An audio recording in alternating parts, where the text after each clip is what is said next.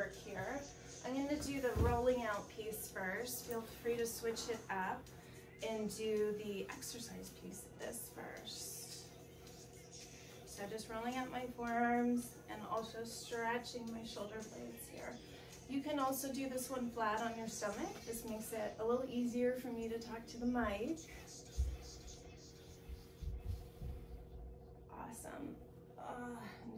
Going where this needs to. A little bit of a cat stretch here, cat sitting. You can pretend that you're on the trapeze table using the roll down bar. So I'm straddling here. You could be on a mat with your legs straight or bent. And then taking it forward. Really round your spine coming in.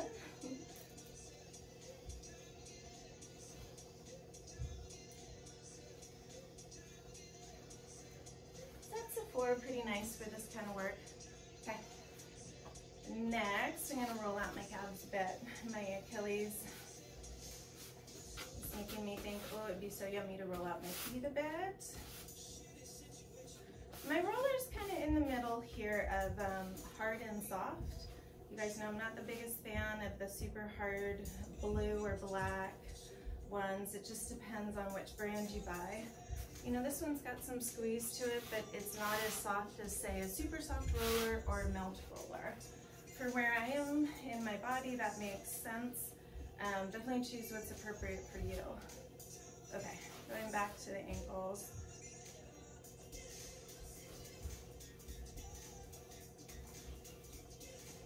And you can do it to the rhythm of the music too. Okay, crawling up a bit here. So I switched between this method and this method.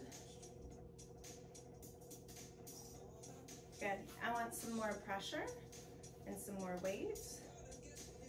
So I'm leaning this foot, the full weight of it, and I'm even pressing down a bit. Good.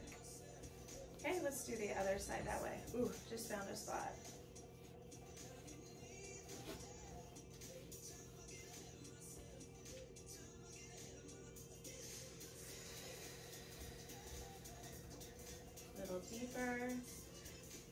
Something you'll see me do in a second is skip my the back of my knee and go up to my hamstrings.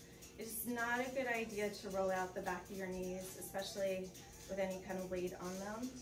So once you get up pretty close to the back of the knee here, you'll skip forward, jump up to the hamstrings here.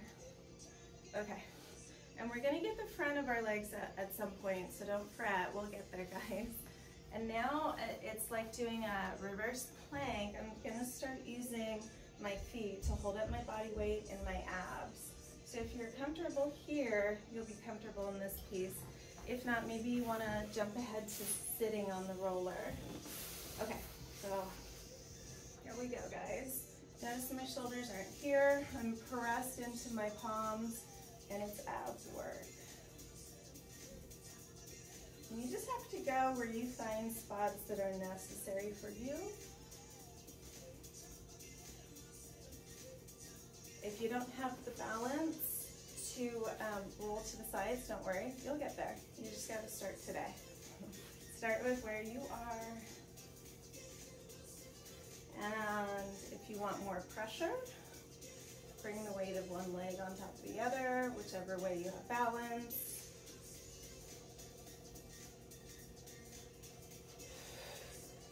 Breathing, check you're not doing something funky with your arms and shoulders, that your abs are still working.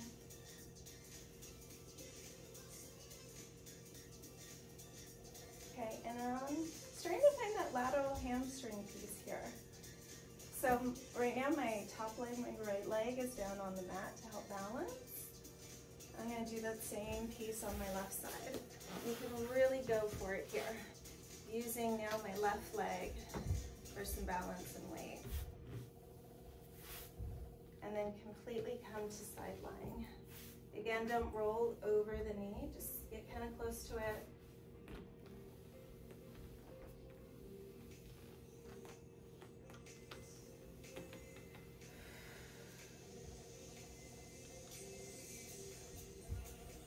Okay, Now I'm going to that junction where the glute and the hamstring kind of connect. And I'm coming up to more sitting because I want my body weight for my body. I want more pressure in there. If this is like, too much, you can bring your upper body weight out here and it will be more manageable. Okay, and try that on the other side. I want a little bit more IT band TLC before I get into this.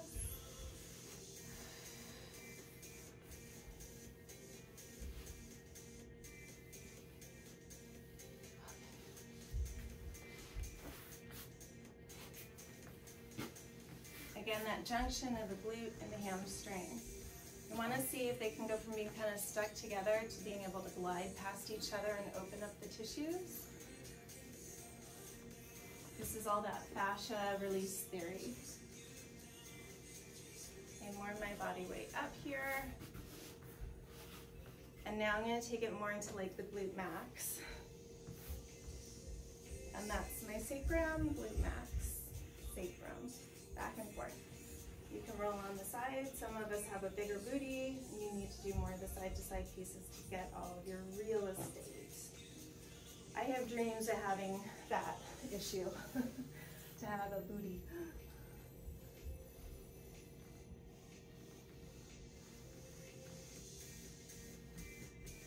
Okay, now we're gonna take it into our back. This is a good time to tie your hair up. So this is more of my lumbar spine I'm doing right now.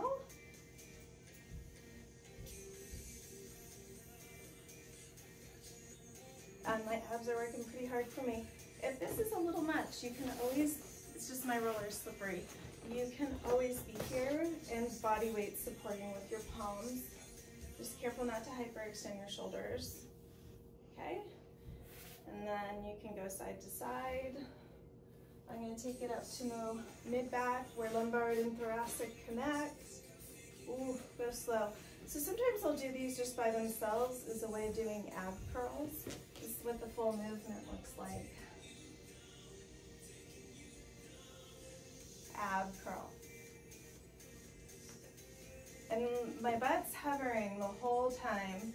So, know you can make the choice to come down, give yourself an assist, or you can stay up the whole time. For whatever reason, this newish roller is sliding a little bit, but normally I do something more like this with a stickier roller. Okay. And now I'm going into all those low shoulder blade muscles that I just spent the last video working so hard on. They need this. This one is hard to describe, but I'm trying to open up underneath the shoulder blades into the rib cage and then coming on over to muscles underneath the armpit that connect into the arm and the shoulders. You kind of have to find it in your own body versus watching me. So I can turn on my side and find it here. Be careful with how much body weight you lean into this. I'm pretty familiar with how to do this. And stretch out. This is some of the back line of the body muscles we get so into in Pilates. It's really helpful once you can find it. And then just a little bit of smushing out here. I'm gonna take it over to the other side. Trying not to fall off. Sort of evaluating here. Okay, found a spot I like.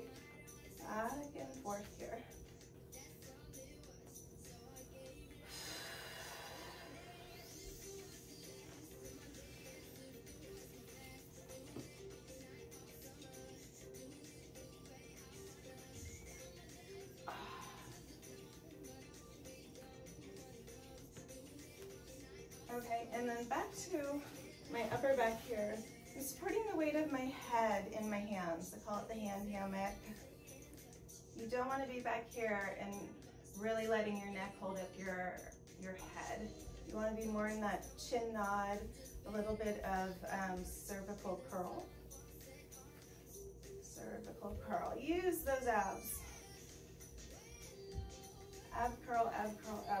While you're rolling up your upper spine here. I'm rounding my spine into this. It's appropriate for me. Make sure you're okay in flexion.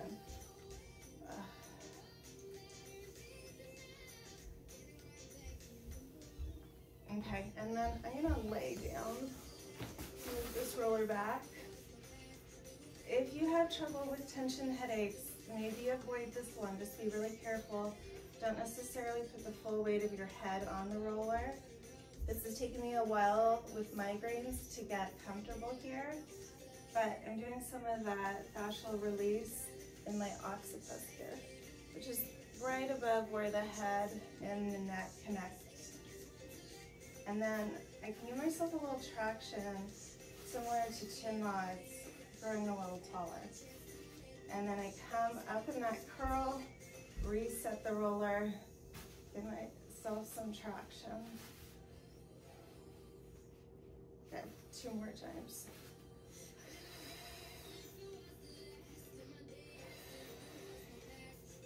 Okay, and then a little back and forth here again. All right, we're gonna flip over to our front sides. This one can be a little nervy, so hold on here, it's a wild ride.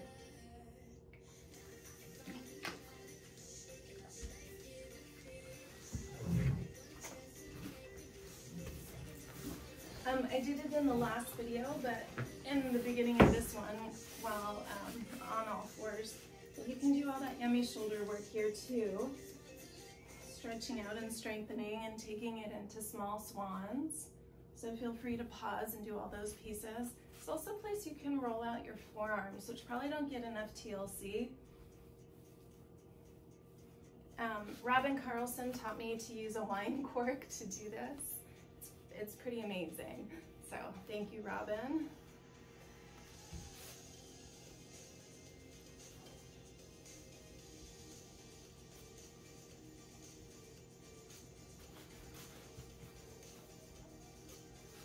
Um, very awkward to find, but you can do some deltoid, just arm muscle pieces here. Ooh, careful not too much body weight. And the other side.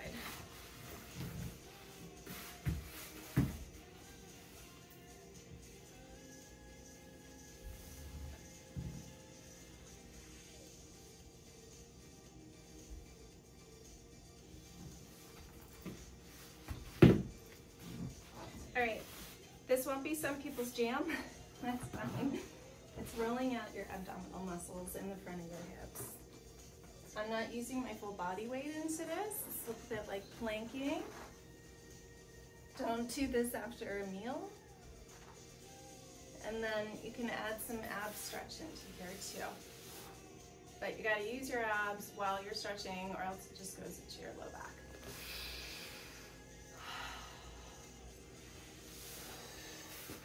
A more dynamic version is your swan.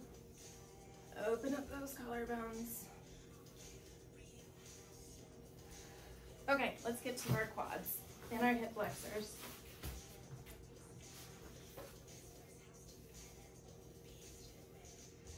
So I'm mostly focusing on my right side here. And then catching my body weight when I need to if it gets too intense, but let's get into the TFL, IT band even.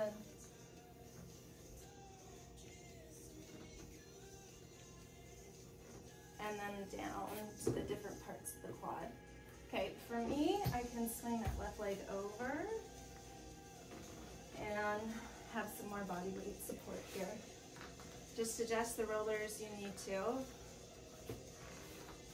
Again, not going over my knee, just starting above the knee here. Those infamous VMOs that I'm always harping on everyone to strengthen, you can get into. Okay, and another one, I can't believe I'm videoing this, but your inner thigh, it's kind of awkward to find. You can bend the knee and just go where you need to here.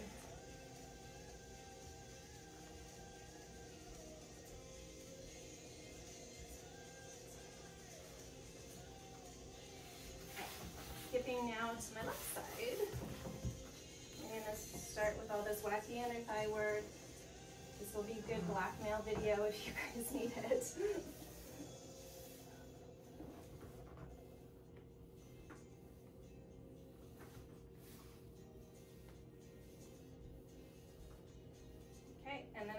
My quad on the left side.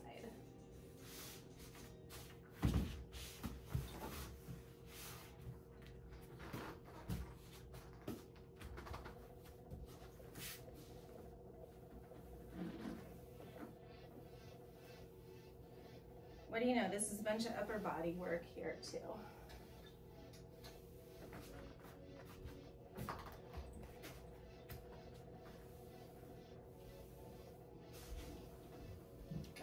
TFL, maybe IT band on my left side.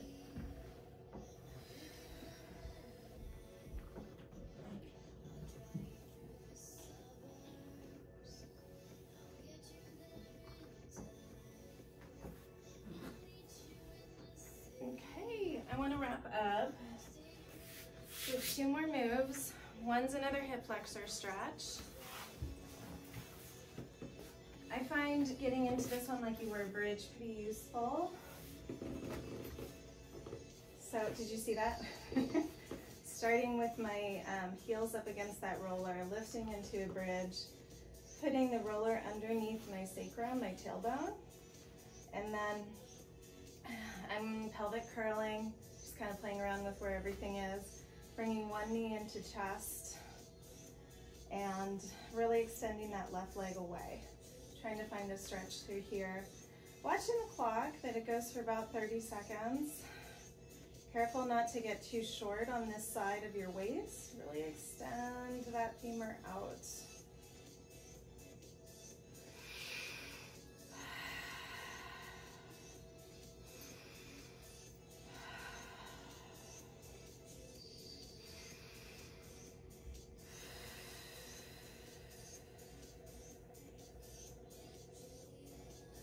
Okay, and then back into that pelvic curl.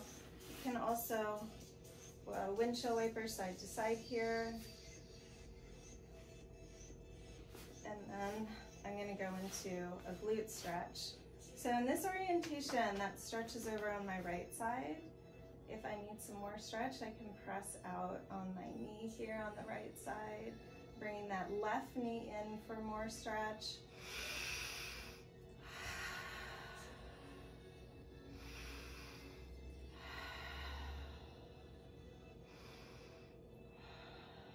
Okay, some other pieces you can do is going back and forth with one leg crossed over the other here.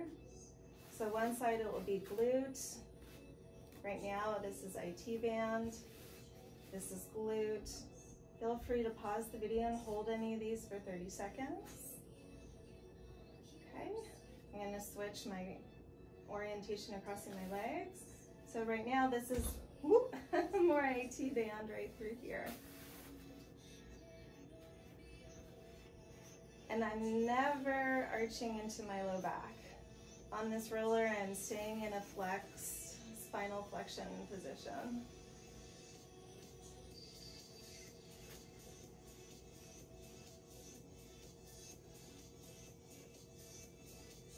Okay, and then I'm gonna take this out into my glute stretch. So pressing this knee out, bringing this right leg in, that gives me a stretch out here on my left side. Try not to shorten up in my waist on either side.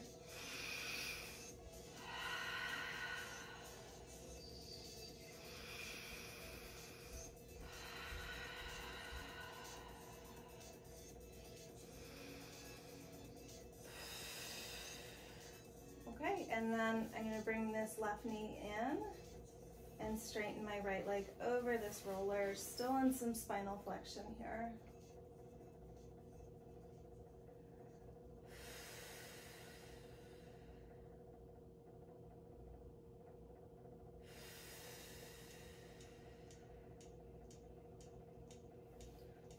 Add on a hamstring stretch here. Ooh, my roller's too slippery though. So I'm gonna abandon that one. Okay, I saved the best for last. We're gonna do mermaid. This is so cool that you can access this great move from reformer and from the trapeze table here with a roller. Okay, so I'm Z sitting, left knee is towards the roller, right shin is away from us. And I'm gonna make a little blade out of my hand And then think here, I'm lifting this side of my ribs, my right side up to the ceiling. Don't let this shoulder come to your ear. And then up till you go. You can add all sorts of fun counter stretch. Really try and stay in that lateral plane, make it intentional. This will be the last one this style. Woo. Let me do that one over again. I'm gonna bring my hand to that blade. Okay, come in a little bit and pause and rotate. A little different than the reformer that we don't combine the two. My hands are wide here. Using that spinal flexion in and out. You can go into a wee bit of extension if that's appropriate for your body. Oh. Stretching out like a cat can feel really good here. Spinal flexion to come in. Okay. And then the other side. Starting with that Z sit. My bottom arm is like a blade here.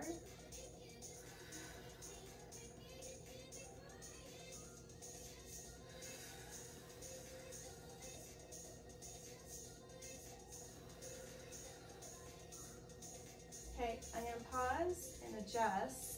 I'm not all the way into my bend. And now I can go into rotation.